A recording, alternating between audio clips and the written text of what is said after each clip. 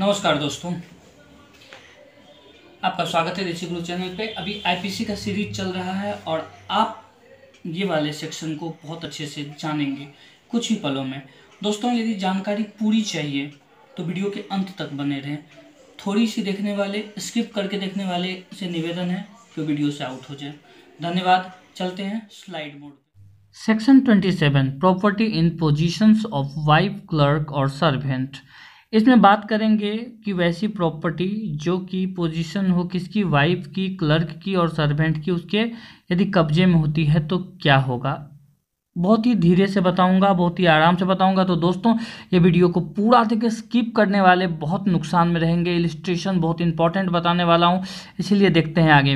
When property is in the position of a person's wife clerk और servant on account of that person ये बात याद रखें on account of that person it is in that person's positions within the meaning of the code एकदम simple concept है कि कोई भी इंसान, कोई भी इंसान की यदि प्रॉपर्टी उसके पास ना होकर, उसकी वाइफ के पास हो, लेकिन हाँ उसकी वाइफ के पास हो, लेकिन उस पोजीशन के बारे में, उस प्रॉपर्टी के बारे में उस इंसान को पता हो कि भैया मैंने ये प्रॉपर्टी अपने वाइफ को रखने दिया है, वैसे कंडीशन में वो प्रॉपर्टी वाइफ की ना होकर वो रखने वाले इंसान, यानी उसकी हस्बैंड की होगी।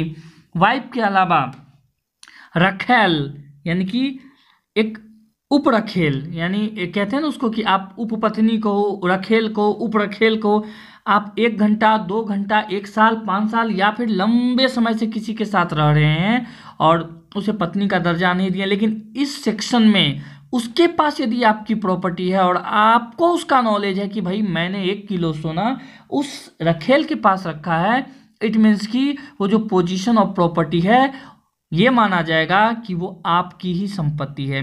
और सबसे इंपॉर्टेंट मुद्दा है सर्वेंट क्या होता है दोस्तों कि 99 परसेंट ऐसे लीडर्स होते हैं जो अपनी पूरी प्रॉपर्टी अपने पास न रखकर टुकड़ों में बांट देते हैं। एक एक रिसेंट का एग्ज़ाम्पल है।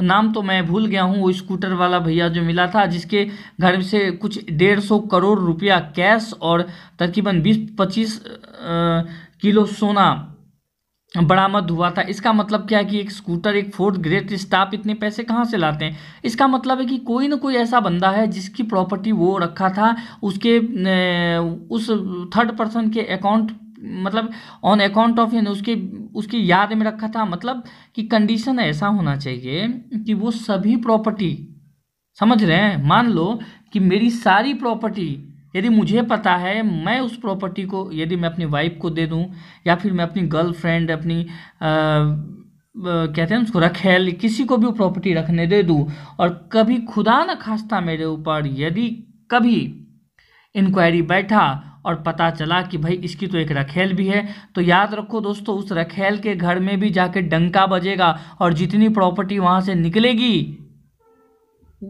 वो तो ठीक है सारी प्रॉपर्टी नहीं पर हाँ जो दिखेगा कि नहीं ये इसकी प्रॉपर्टी नहीं लग रही है। भाई, ये इसमें दाल में काला नहीं है पूरी की पूरी दाल ही काली है। वैसे प्रॉपर्टी पे जिसका लीगल जो बंदा है, उसी के प्रॉपर्टी माना जाएगा। ठीक है? यदि मेरी प्रॉपर्टी है, किसी और को दूँ तो भी मेरी ही प्रॉपर्टी मानी जाएगी।